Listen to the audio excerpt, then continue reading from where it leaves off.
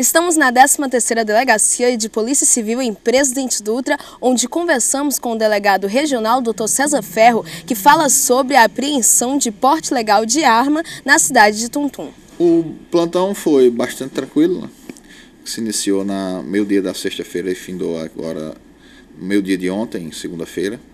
É, teve uma apreensão de uma arma de fogo, né, com duas munições. É, um indivíduo sim, sim, é, foi arbitrado fiança, conforme determina a lei, e a, a arma apreendida. É, também houve uma tentativa de homicídio em, no município de Tuntum, em que uma briga entre familiares lá, um, um rapaz tentou matar o cunhado, né, atirou contra ele, mas felizmente não obteve êxito. Também se encontra preso e já recolhido aqui na, na carceragem da SEAP. É importante destacar que as, essas prisões foram realizadas pela Polícia Militar lá de Tuntum, que vem fazendo um grande trabalho, e só isso mesmo. Nas, nas demais 16 cidades que compõem aqui o, a 13ª Delegacia Regional, tudo tranquilo.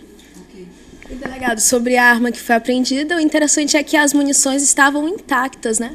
É positivo, mas como só são duas, Acredita-se que ele deva ter utilizado as outras quatro, né, já que a câmera comporta seis munições aí. Só que na arma só, foi, só foram encontradas duas munições mesmo. Acredita-se que ele tenha utilizado as outras? Positivo.